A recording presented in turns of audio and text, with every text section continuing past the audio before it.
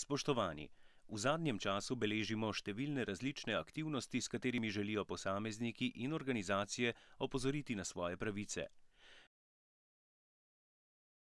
Naj izpostavim le nekatere, kot so Petra Rezar in Društvo gluhih učiteljev Slovenije, Bojan Mort in Tipk TV, nekateri posamezniki, ki so tudi člani društev gluhih in naglušnih, ki so pisali na Urad Vlade Republike Slovenije za komuniciranje, ter nazadnje tudi Damjan Šebjan in iniciativa Bele rokavice.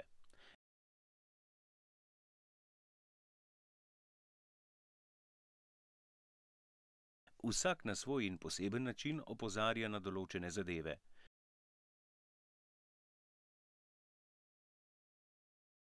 Z namenom, da se stvari umirijo, predvsem pa, da se najde skupni jezik, smo v zadnjih štirinajstih dnevih večkrat apelirali na Društvo učiteljev gluhih Slovenije ter Tipk TV, da se skupaj sestanemo.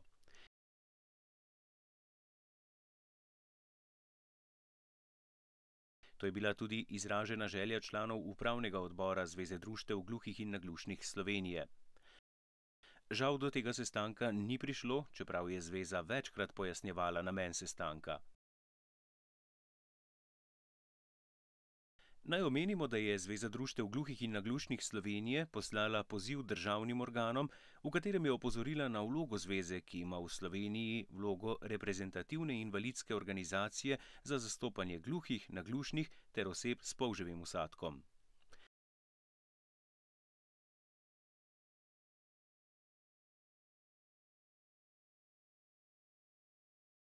Opravili smo tudi razgovor pri varuhinji človekovih pravic, direktorju Državne volilne komisije, direktorju RTV Slovenije, direktorju Urada Vlade Republike Slovenije za komuniciranje, direktorici Direktorata za invalide na Ministrstvu za delo, družino, socialne zadeve in enake možnosti, z drugimi odgovornimi osebami na različnih ministrstvih, s številnimi posamezniki in asociacijami pri pripravi zakonskih podlag za področje gluhih in naglušnih in številnimi drugimi, ki jih je nemogoče vse našteti.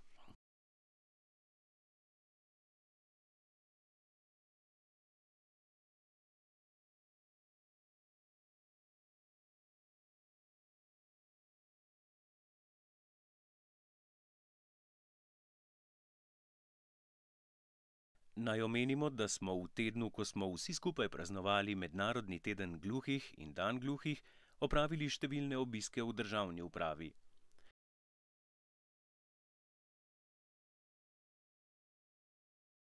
V jesenskem času smo zaradi sprejema pravilnika o tehničnih pripomočkih in pravilnika o voznikih ter izvedbe prilagoditev na podlagi zakona o usmerjanju otrok s posebnimi potrebami ter v zvezi z jezikovno politiko slovenskega znakovnega jezika opravili številne sestanke in razgovore z odgovornimi na Ministrstvu za delo, šolstvo, kulturo in zdravje ter tudi na Ministrstvu za obrambo in javno upravo za še vse ostale novitete.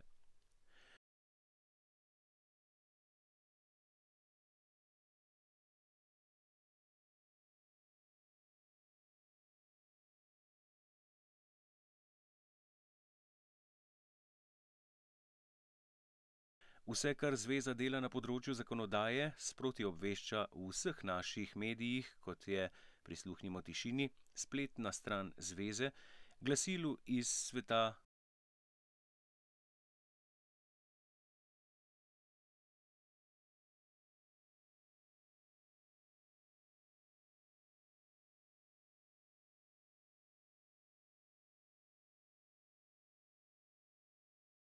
Vabljeni seveda k branju in ogledu številnih prispevkov.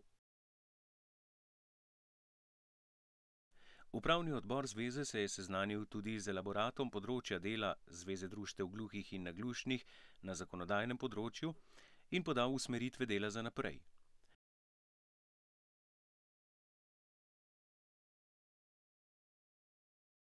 V tem trenutku smo med drugim odprli pogajanja za status telesne okvare.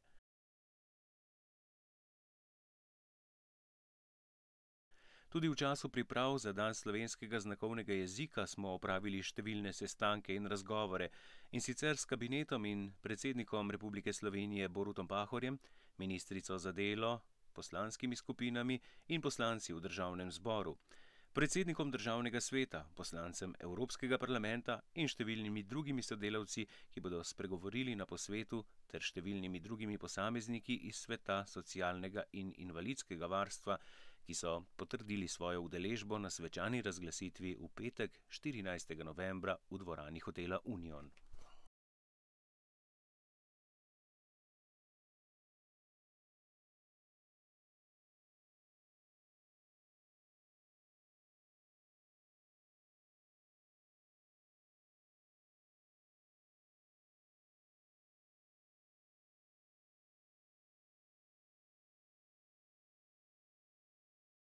Vsak državljan ima pravico izraziti svoje mnenje in le to pravico bomo spoštovali.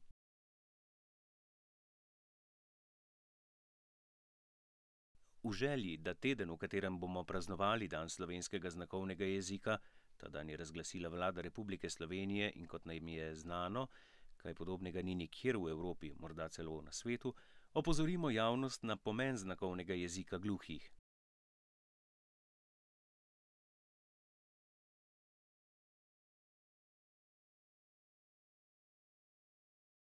Pripravili smo številne aktivnosti, katere pripomorejo k večji prepoznavnosti znakovnega jezika. Največji dogodki so ravno na dan 14. novembra, in sicer posvet v državnem svetu v dopoldanskem času, ogled filma v znakovnem jeziku v Cankarjevem domu ob 14. uri in svečana razglasitev s kulturnim programom, ki so ga v celoti pripravili gluhi in naglušni.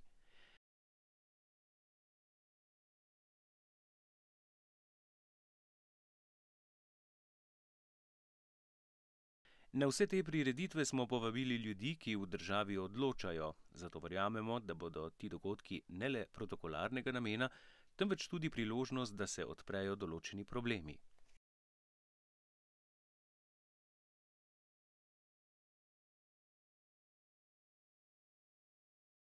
Z namenom, da se najde skupno sodelovanje, smo povabili predstavnike Društva učiteljev gluhih Slovenije, Tipk TV in iniciativni odbor Bele rokavice, da se na zvezi v ponedeljek 10. 11. 2014 ob 13. uri sestanemo.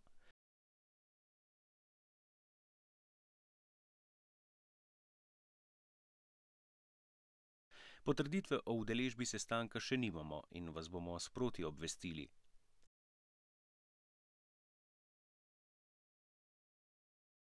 Prisrčno vabimo vse prijatelje, sodelavce in sorodnike gluhih in naglušnih, da so pozorni in sodelujejo v veliki medijski kampanji Radia Slovenija Vala 202 Zvoke v roke, ki se je že začela in se bo v enem delu zaključila v petek 14. novembra 2014.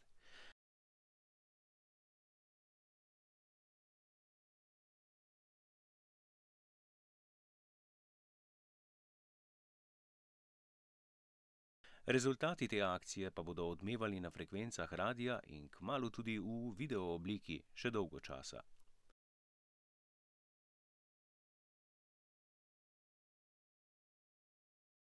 Zavedamo se, da je radio za gluhe in številne naglušne osebe nedosegljiv, je pa radio najbolj priljubljen medij v Sloveniji in Val 202 na Radiu Slovenija je najbolj spoštovan in poslušan radio v Sloveniji.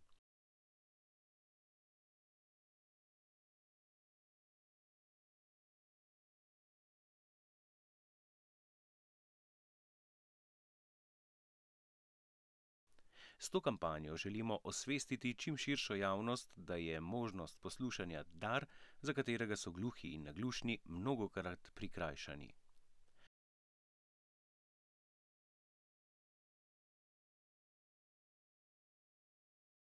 Naj vas na koncu še enkrat vsi skupaj povabimo, da prvič v Sloveniji in morda na svetu obeležimo dan slovenskega znakovnega jezika, ki ga je razglasila vlada Republike Slovenije.